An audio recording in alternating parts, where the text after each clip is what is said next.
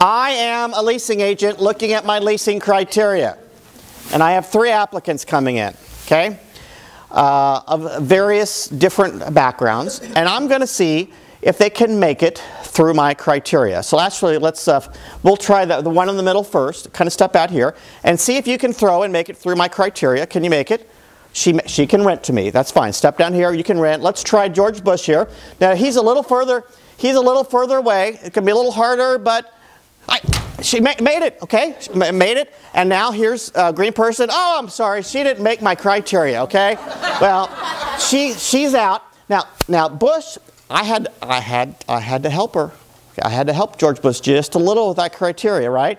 And well, there's something in my gut because I do things on a case-by-case basis.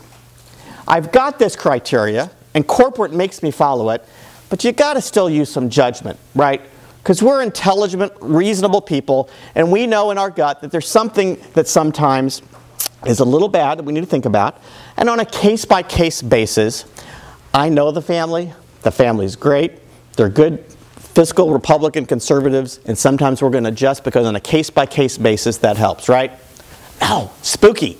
When I hear, well, you got to use some judgment. You got to do case by case.